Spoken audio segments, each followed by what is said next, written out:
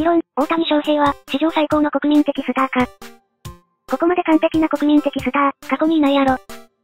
少なくとも野球界では、名実どもにぶっちぎり。長島茂雄の方が上じゃね。サッカー界の、メッシみたいな感覚やな。昭和のナンバーワンスター、長島のが上。娯楽の多さが比べ物にならない、現代では、長島超えたと言ってもええやろ。間違いない。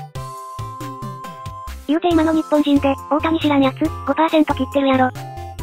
イチローや、王を超えたな。長島茂雄と王足して、2で割ったみたいな存在だな。俺の生きてきた28年で、大谷以上のスターって言われても、思いつかない、イチロー以上やろ大谷。もはや MLB の、トップスターやし。史上最強だけど、まだ史上最高ではない。あんまり活躍してなくない？こいつは無視。大谷が移籍した後の、エンゼルスのチームメイトと、ファンのこと考えるとマジで切なくなる。